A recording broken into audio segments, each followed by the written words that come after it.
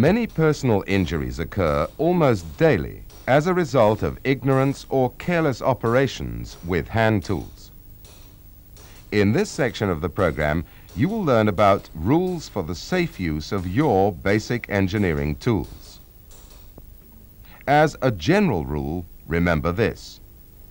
Always select the right tool for the job.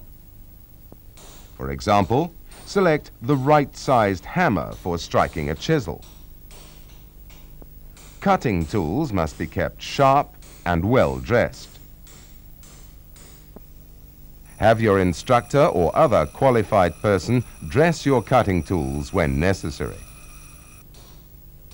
Always use any protective measures such as goggles when chiseling.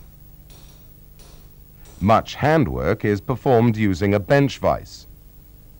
Workpieces should therefore be securely held in the vise before you attempt to do the work.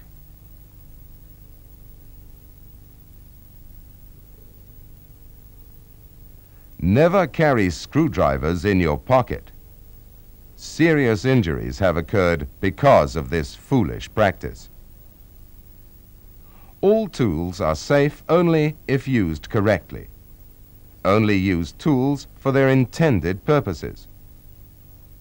Don't leave tools lying around on benches, nor on the floor where they will cause a tripping hazard. All tools should be safely stored in your toolbox or cupboard after they have been wiped clean once the job has been done.